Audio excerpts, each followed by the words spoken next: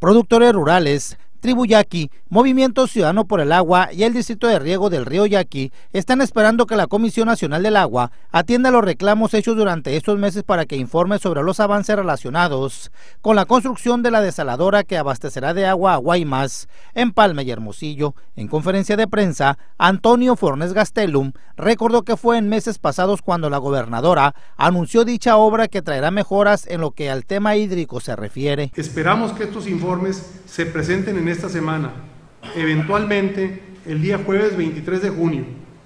Con esto se estará dando cumplimiento a lo anunciado por la gobernadora Claudia Pavlovich a finales de noviembre del año pasado, cuando en el puerto de Guaymas anunció la construcción de una desaladora, cuyo diseño modular permitirá atender en lo inmediato los requerimientos hídricos de Guaymas Empalme y posteriormente cubrirá la demanda de agua dulce de la ciudad de Hermosillo.